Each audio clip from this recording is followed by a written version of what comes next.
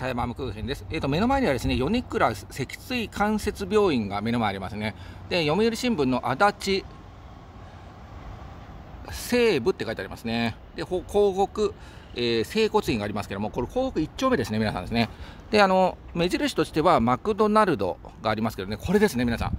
広北1丁目21にありますですね、弘法大師、弘法大師様のですね、石碑がここにポツンとですね、もう何事もなくですね、あの、ちょっと鎮座しております。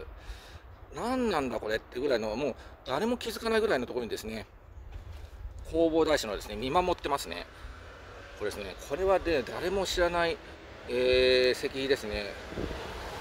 完成、完成年間ですね。これは結構貴重な、皆さんですね、とこですよね。あの、この港北、えー、整骨院の目の前にありますね。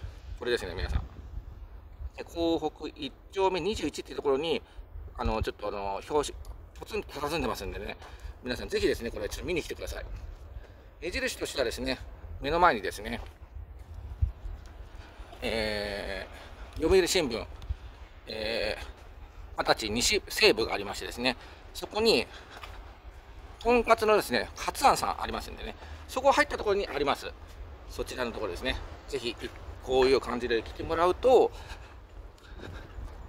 ポツンとですね、植木っていう、多分これ足立区の、足立区っていうか、多分区の土地だと思います。多分おそらくこれは。はい。